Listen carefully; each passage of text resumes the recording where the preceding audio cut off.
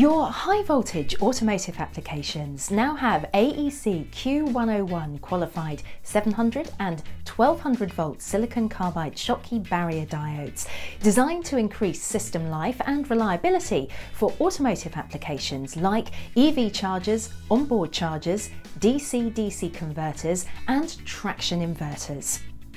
These planar 4H silicon carbide SBDs deliver 20% higher unclamped inductive switching capability than comparable silicon carbide SBDs and maintain rated current with no degradation or failures even after 10,000 hits in repetitive UIS tests. They also do not exhibit reverse recovery effects of silicon diodes, switching loss and dynamic avalanche conditions when forced out of forward conduction.